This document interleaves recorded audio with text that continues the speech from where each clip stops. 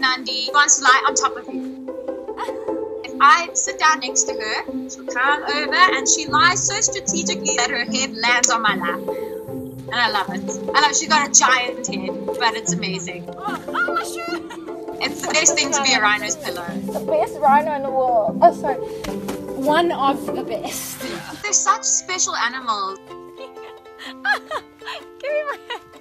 different personalities that they have, they make mm-hmm. you laugh all the time. Some of them are so naughty. What are you doing? A lot of the rhinos actually talk back to you. They have like a huff. Coming.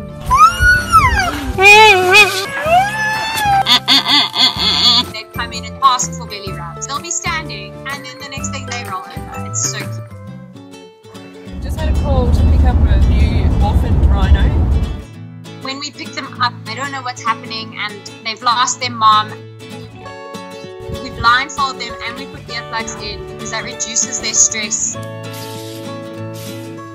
Rhinos need a lot of our help because the poaching has just skyrocketed. So much has been put on rhino horn and how valuable it is. When rhino horn is made of keratin, which is the same as your hair and your fingernail, it's sad how it's destroying the rhino population. What's a mess? Jamila, she was very little when she arrived at the orphanage. The poachers actually hit her with a machete. We think that she was trying to protect her mom. It's a lot of spending time with them to gain their trust, to get them to calm down a bit.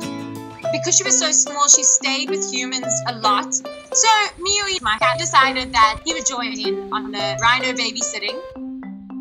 If they were sleeping in the room, Mewie would sleep there. If we went on a walk, he'd come with on a walk. Miri, come on. I think Jamila really liked the company. They were very cute together. To see a cat and a rhino together, I nearly died. The goal at the orphanage is to release all the rhinos back into a very protected area. When the rhinos arrive, they get a lot of human contact. Are you sleeping in there? It comfortable? They get milk every few hours. Delicious? And then they get weaned at 16 months. They'll start exploring the bush on their own. Just to let them be rhinos and run around and play in a mud wallow. And then it's at about three years old that they're ready to be released to a more controlled game reserve and have hectic security around them all the time. It's good to know that the ones we have released are very safe. Those few years that you spent with them was all for something and it was all worth something.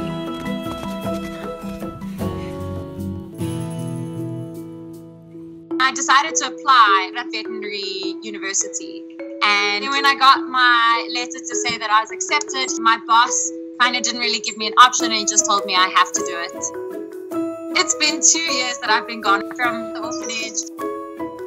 It was a very difficult decision to make, but when I finally finish in four years' time, I'll be able to do a lot more for rhinos as a vet. Hello, my baby. I'd like to join up with the orphanage and make a huge orphanage slash rehab center for all of South Africa's wildlife.